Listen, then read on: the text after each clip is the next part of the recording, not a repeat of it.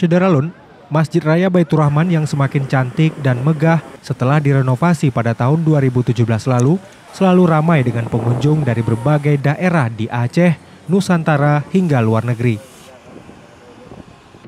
Hal ini tentu membuat para pengurus masjid, terutama pekerja di bidang kebersihan, harus bekerja keras untuk selalu menjaga kebersihan lingkungan masjid.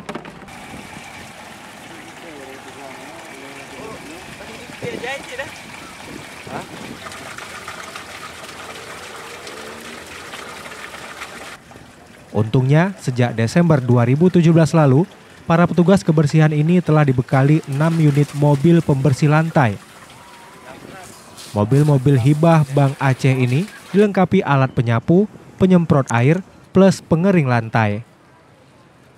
Ya lah itu sekarang kita lihat uh, kesadaran orang pengunjung ke Masjid Raya Baitur Rahman ini saya lihat banyak bapak-bapak yang merokok. Uh, jadi saya lihat sangat menyesal uh, warga kita merokok sembarangan. Tapi kan ada ditulis di situ dilarang merokok. Tapi saya lihat uh, orang kita di sini tidak sadar merokok karena banyak yang merokok dibuang sembarangan. Begitu. Iya, putung rokok banyak didapat di sini. Ya, saya kumpulkan di sini. Mohon uh, saya harapkan kepada masyarakat yang datang ke Masjid Raya Baitur Rahman ini kesadaran sendirilah kalau merokok jangan di komplek Masjid Raya ini, lebih baik di luar saja. Di sudut-sudut ya, Pak? Ya, di sudut-sudut. Setiap kali mobil ini lewat, lantai marmer di halaman Masjid Baitur Rahman langsung kinclong dan bebas debu.